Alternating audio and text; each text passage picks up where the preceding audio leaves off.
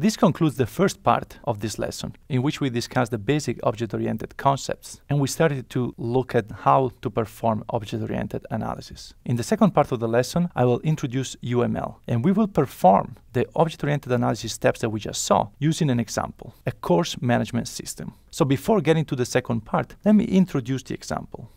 As we mentioned before, the first step is to start from a textual description of the system that we need to analyze and that we need to build. So that's exactly what I'm going to do. So I'm just going to read through this description that then we'll use throughout the rest of the lesson.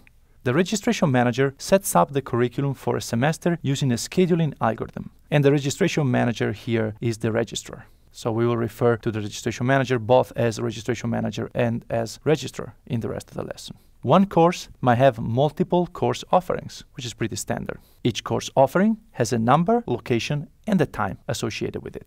Students select four primary courses and two alternative courses by submitting a registration form. Students might use the course management system to add or drop courses for a period of time after registration. Professors use the system to receive their course offering rosters.